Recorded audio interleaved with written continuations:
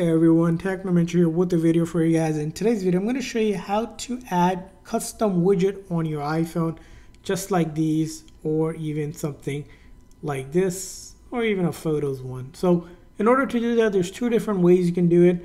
On the latest iOS version, for example, you can long press and hold any app on the home screen, so you can get the option to edit home screen. So you're going to tap on that, and then click on edit up top, and then we're going to click on add widget. Now, iPhone by default has built-in widgets that you can use. You can go down the list here and see if there's a widget that you like. For example, you can see a bunch of different widgets for apps and photos and albums and even for YouTube and maybe even something for Instagram or messages, right? You can add a widget. You can see each of the app has a different widget that you can pick from. You can swipe through and then whenever you like something that you want to add, right? Can go ahead and click on add and click done. And that's going to add a custom widget.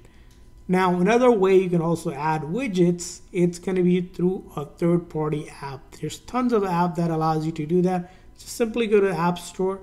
There's one that is a popular one called widgetsmith. You can use this one it's a popular one. You can go ahead and download widgetsmith which will allow you to customize basically your home screen with sort of different widgets. You can see here these are some of the inspiration that this app will allow you to do. It's free to use for the most part. So as you can see, I downloaded here and then let's go ahead and open it up.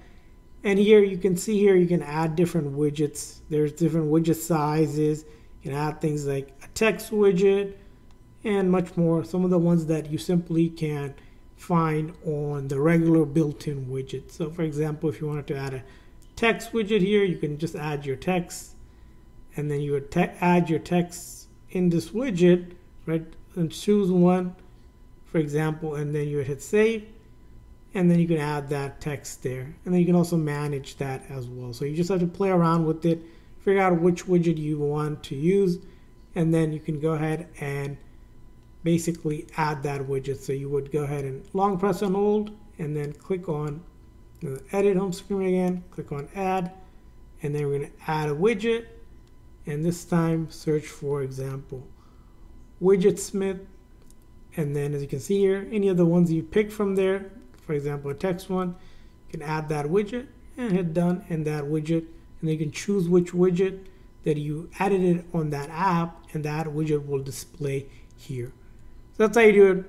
I hope this video was helpful. So please consider a like and subscribe button for more tips and tricks for your iPhone. I'll see you guys next time.